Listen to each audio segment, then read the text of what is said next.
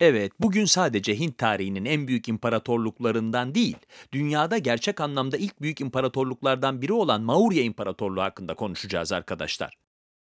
Ve biraz ön bilgi olması için antik Hint tarihinde nereye denk geldiğine bu çizgiden bakabiliriz.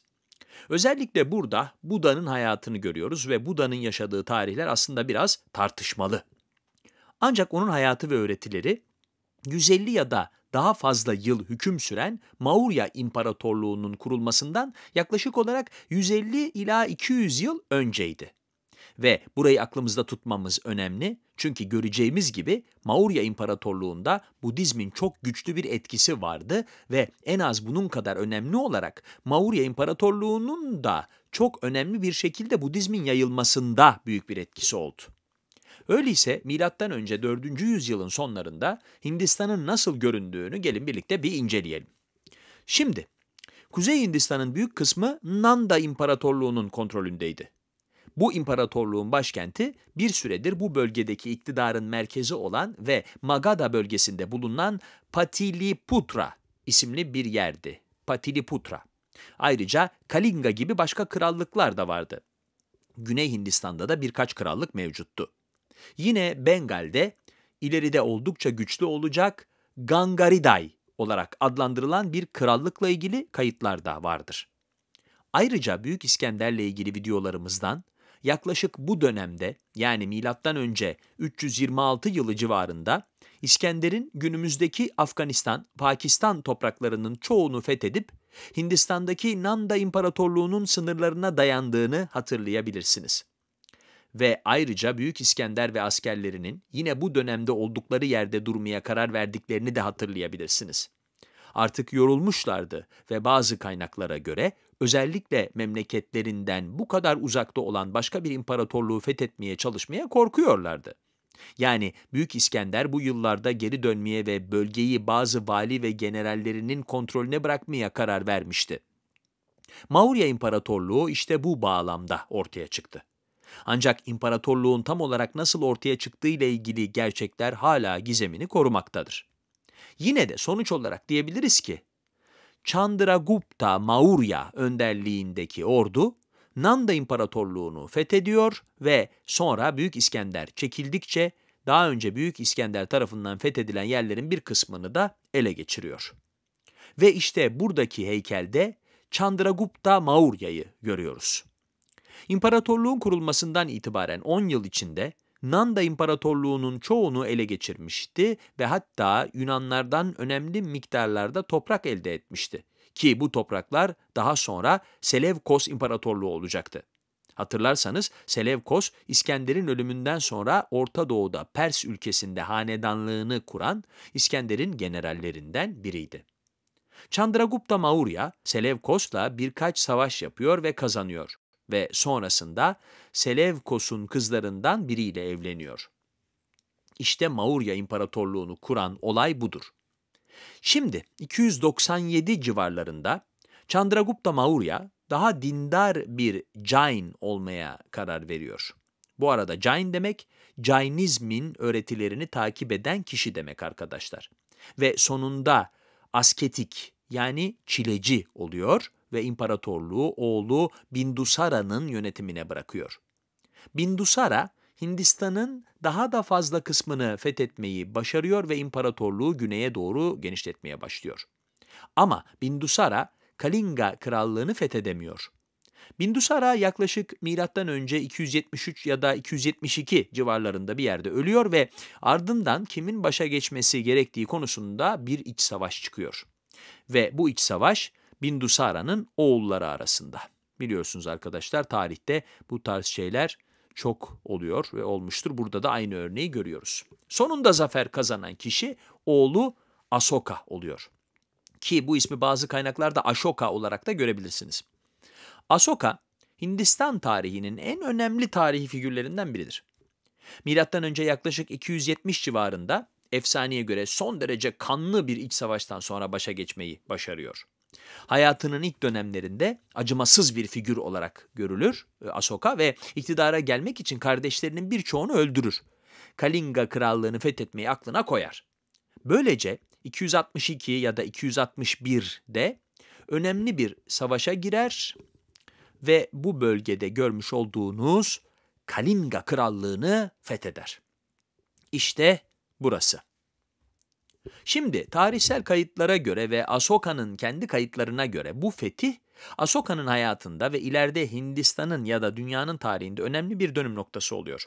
Çünkü burada Kalinga'da neler olduğu hakkındaki duygularının doğrudan kayıtları var. Biz bunları Asoka fermanları olarak bilinen kayıtlardan elde ediyoruz. Maurya İmparatorluğu Asoka'nın liderliğinde genişlerken barış ve refah içindeydi. Fermanlarını tüm imparatorlukta, genellikle inançlarını ve yaptığı şeyleri yazdığı Asoka sütunları olarak bilinen sütunlara yazdırıyordu. Ayrıca tüm imparatorlukta çeşitli kayalar ve taşlar üzerine de yazı yazdırdığı oluyordu. Bizim bahsedeceğimiz kısım, yani Kalinga'nın fethi hakkında konuştuğu kısım oldukça ilginç. Okuyorum arkadaşlar. Tanrıların sevgilisi Kral Piyadasi. Burada Asoka kendinden bahsediyor. Taç giydikten 8 yıl sonra Kalinga'yı fethetti. Ve gördüğünüz gibi milattan önce yaklaşık 270 yılında taç giyiyor, yaklaşık 262 yılında da fetih gerçekleşiyor. Evet, devam edelim okumaya. 150 bin kişi sürgün edildi, 100 bin kişi öldü ve çok daha fazlası da başka nedenlerden öldü. Kalinga fethedildikten sonra tanrıların sevgilisi Dhamma'ya karşı, Dhamma bugün Dharma olarak bilinen kelimenin eski adı, Dharma'yı ad, Hindu inanışında nesnelerin kozmik düzeni olarak açıklayabiliriz arkadaşlar. Dharma kelimesini Hindu inanışında nesnelerin kozmik düzeni olarak açıklayabiliriz. Ayrıca Budistlerden yani Budistler açısından bakarsak da onların açısından da Buda'nın öğretilerine ya da Budist dinine bu atıfta bulunuyor. Okumaya devam ediyorum. Tanrıların sevgilisi Dhamma'ya karşı güçlü bir ilgi ve bağlılık hissetmeye başlıyor. Dhamma öğretilerinin yaygınlaşmasını diliyor. Şimdi tanrıların sevgilisi Kalinga'yı fethettiği için derin üzüntü duyuyor. Burası gerçekten ilginç. Yüz binlerce kişiyi öldürdükten sonra ya da yüz binlerce kişinin ölümünden sorumlu olduktan sonra diyelim, yaptıkları için pişmanlık hisseden ve onunla ilgili yazı yazan pek fazla kral yok. En azından antik tarihte. Dolayısıyla bu yazı hem bir kralın normalde yazmayacağı şeyleri içerdiği için çok ilginç, hem de antik dönemde savaşların ne kadar kanlı olduğunu bize hatırlatıyor. Bu savaş Asoka için bir dönüm noktası oluyor. Budizme ilgi duymaya başlıyor ve bu sebeple sadece insanlara karşı değil, hayvanlara ve diğer canlılara yönelik şiddete de karşı oluyor. Kendisini Budizme adayarak imparatorluğun her yerinde Budist tapınakları yaptırıyor. Dünyanın dört bir yanına Budist misyonerler gönderiyor ve böylece Budizmin Avrupa'dan uzak doğuya dek yayılmasına sebep olan insanlardan biri olarak görülüyor. Asoka'nın fermanlarından zaten bahsettik kuyu açma, hastane inşa ettirme, halka açık parklar, bahçeler yaptırma ve kadınlar da dahil olmak üzere eğitim alanında halka yönelik pek çok proje yapmaya başlıyor Asoka. Hüküm sürdüğü dönem boyunca Hindistan'ı hakimiyeti altına alan tüm imparatorluklardan daha geniş topraklara sahip oluyor. Günümüzdeki Hindistan'ın topraklarının %50'sinden daha fazlasını ele geçirmiş durumda. Onun döneminde Maurya İmparatorluğu'nda yaşayan yaklaşık 50 milyon kişi vardı. Asoka'nın ölümünden sonra imparatorluk giderek daha zayıf hükümdarlarca yönetiliyor ve M.Ö. 184-185 yıllarında tarihte çok daha az öneme sahip başka bir hanedanlığa geçiyor. Ancak Asoka'nın tarihte ne kadar büyük ve önemli olduğunu anlamak için e, H.G. Wells ya da H.G. Wells'in ana hatlarıyla dünya tarihi eserinden bir alıntıya burada yer vereceğim arkadaşlar. Evet okuyorum.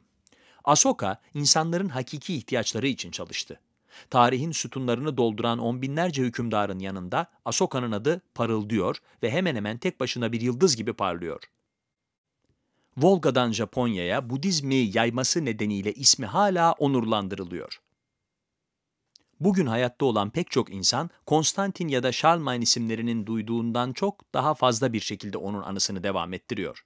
Asoka'nın tarihteki etkilerini, hatta günümüzdeki Hindistan'a yaptığı etkiyi de anlamak için tarihi bilmek çok önemli. Mesela buradaki şey Asoka çakrası ya da Dharma çakrası olarak adlandırılıyor ve eğer Hindistan bayrağına bakarsanız Asoka çakrasının bayrağın tam ortasında olduğunu görürsünüz. Bu aslında Hindistan Cumhuriyeti'nin günümüzdeki sembolünün bir parçası. Çünkü Asoka daha iyiliksever bir hükümdara dönüştükten sonra tüm tarih boyunca birçok tarihçi tarafından Hint tarihinin örnek, ideal hükümdarı olarak düşünülmüş. Yani tarihi bir figür bugün bile bir ülkenin sembolü üzerinde etkiye sahip.